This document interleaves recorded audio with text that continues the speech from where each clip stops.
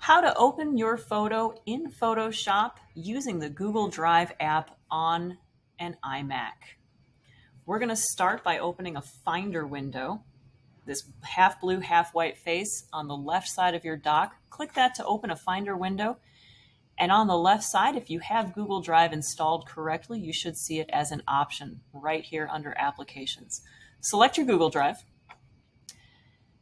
this window right here on your computer might look different than it does on mine. You can customize the way this Finder window looks and operates by clicking these two icons up here. This first icon is going to allow you to organize how Finder takes you from file to file. I personally really like columns because it's a very straightforward left to right workflow. If I go into my drive, it brings up all of the stuff in my drive right here to the right.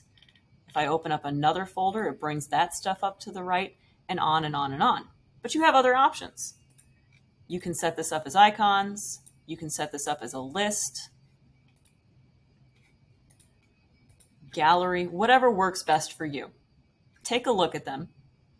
Set this up so that it's working for you. To organize this stuff right here, you can click this icon and you can sort all of your items in your drive by any of these different options. You can sort them alphabetically by name. You can sort them by type of file, which is my favorite because it brings all of my folders up right at the front. Take a look at all of these, figure out what works best for you. Here is my class folder, here's my composition folder, and here we have my photos. This is the photo I want to open to edit in Photoshop. There are two ways I can do this. Right click on that photo and choose Open with Adobe Photoshop. That's option one. Option two, click and drag this file down to the Photoshop icon in your dock and let go right on top, and it's going to open that photo right there in Photoshop for you.